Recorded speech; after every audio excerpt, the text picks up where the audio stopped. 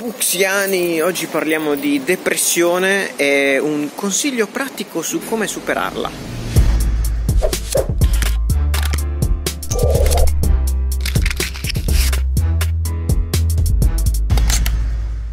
Il consiglio è quello di eh, ragazzi passate meno tempo davanti allo schermo, sì, va bene Marco, lo sappiamo, eh, ce l'hanno detto tante volte, abbiamo provato a metterlo in pratica tante volte questo consiglio, ma mh, come mille altri consigli su cosa bisognerebbe fare nella propria vita rischia di essere lettera morta.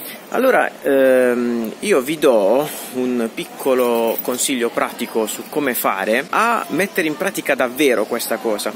Ma prima di dirvi esattamente cosa fare, vi spiego perché è importante staccarsi qualche ora dallo schermo ogni giorno. Uh, è importante perché quando ti eh, stacchi dallo schermo provi una cosa che oggi ormai è tabù.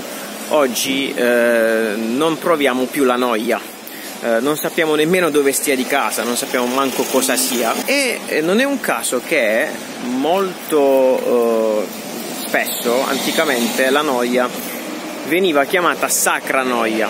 Perché è sacra la noia? Uh, è perché non la proviamo più, tendiamo a non provarla più, perché ogni volta che magari ti siedi sul divano, sei da solo e non sai che minchia fare, non è che ti godi la noia, non è che rimani annoiato, non lo accetti, eh, prendi il cellulare in mano o accendi il computer o accendi la televisione e eh, combatti la noia così. Quindi praticamente il problema è che noi non abbiamo mai la possibilità di provare questa sacra noia. E perché è sacra, appunto? Perché ehm, è il momento in cui il cervello può ricaricare le sue scorte di dopamina.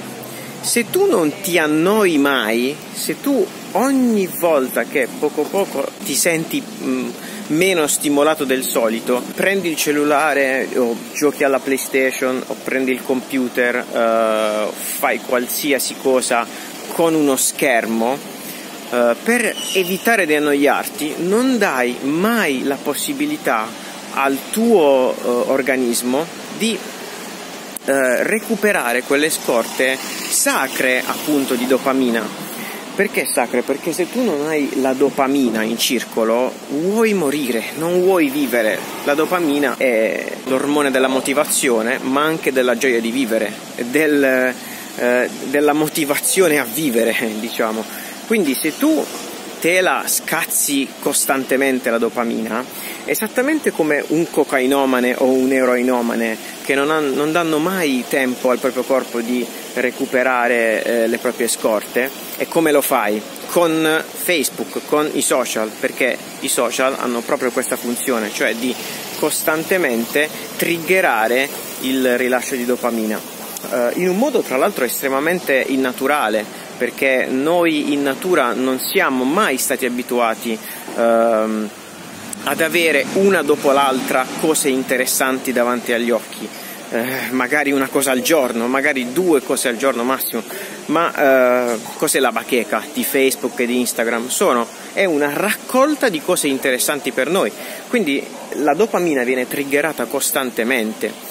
Eh, e noi non siamo abituati, non siamo stati programmati eh, a triggerare così tante volte al giorno la dopamina, tanto che nei casi peggiori addirittura i recettori della, do- della dopamina, esattamente come nel caso di eh, persone gravemente tossicodipendenti, possono smettere di funzionare, possono bruciarsi o comunque nei casi migliori, fra virgolette, possono andare in dormienza, cioè si attiva un meccanismo di protezione dicendo vabbè adesso io vado in letargo e non ti produco più dopamina fino al momento in cui tu mi dai la possibilità un attimo di usare le proteine che eh, ho ingerito, produrre aminoacidi, produrre con i vari aminoacidi dopamina. Questo eh, appunto si ottiene semplicemente dando un attimo di tregua al proprio sistema dopaminergico cosa che non dà il drogato, ma cosa che non dà anche chi è eh, drogato di Facebook e dei social.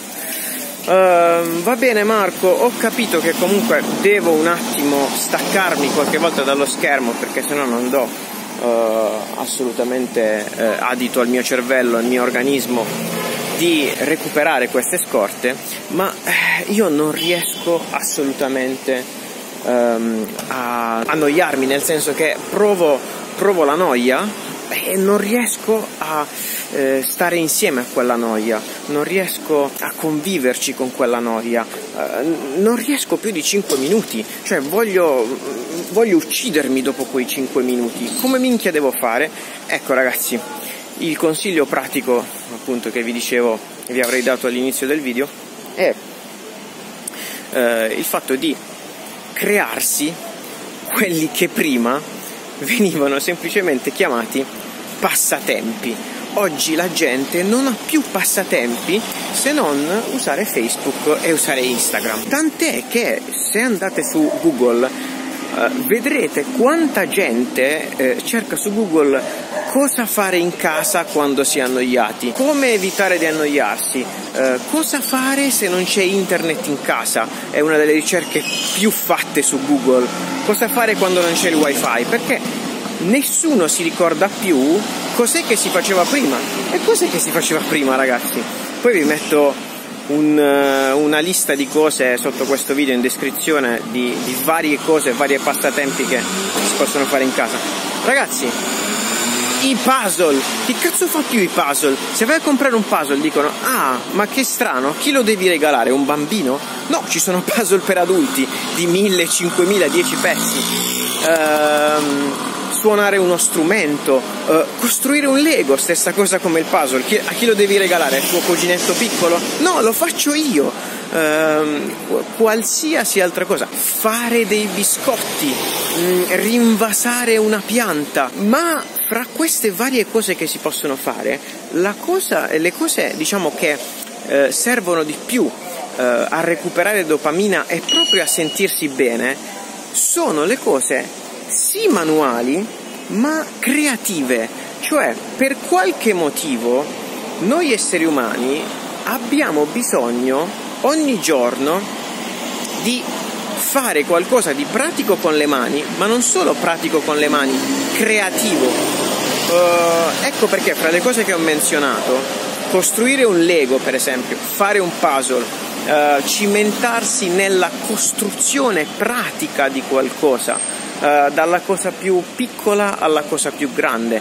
Prima, ad esempio, in casa eh, si costruivano col, col bricolage le cose, prima si facevano i vasi in ceramica, mm, si dipingeva per esempio. Ragazzi, se voi vi prendete dei colori per disegnare o dipingere, per qualche motivo, e vi sfido a provare, la mattina vi svegliate e siete contenti perché siete contenti? Siete, siete, soddisfatti perché vi state impegnando a costruire qualcosa, quindi siete proiettati verso, verso il futuro. Uh, guardate il futuro con molta più vitalità e felicità perché non vedete l'ora di portare a termine questo progetto di questa cosa che state costruendo, dalla più piccola cosa alla più grande cosa. Mm, dal, vi ho detto dal puzzle al, alla Lego, uh, siete lì lì per finire finalmente il vostro progetto della Lego Technic di, del porto commerciale di Amsterdam da 12.000 pezzi? Ovviamente siete gasati, ovviamente. Vi sfido uh, a trovarvi dei passatempi specialmente pratici uh, ma soprattutto creativi pratici, nel senso che bisogna usare le proprie mani per farli, e creativi perché sono parte di un processo uh, in cui la vostra mente si ingegna per creare dal nulla qualcosa.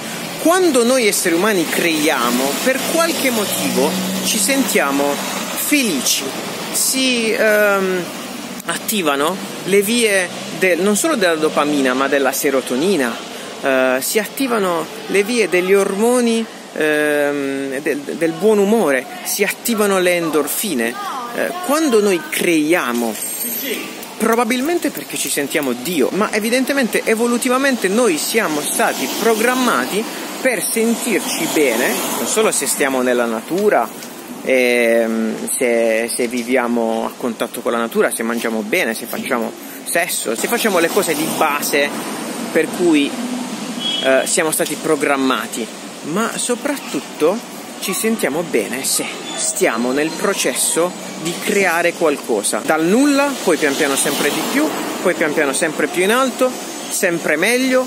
Questo eh, vi farà alzare la mattina e dire cazzo che figata che mi sono alzato perché sono lì lì per finire il mio progetto provatelo, non bisogna costruire palazzi, non bisogna costruire enormi progetti commerciali, non bisogna costruire uh, chiese, non bisogna dipingere la cappella Sistina, uh, va bene anche una cosa piccolissima. Vi ho detto un puzzle, una Lego, uh, dipingere, gli origami, c'è un mondo ragazzi su, su YouTube. Se volete imparare, ovviamente dovete usare uno schermo, andare su YouTube le prime volte per fare un origami, per dipingere su tela, per qualsiasi altra cosa pratica e creativa. Poi una volta imparato potrete farlo senza lo schermo e vedrete che veramente sentirete la differenza. Provateci e fatemi sapere. Ciao!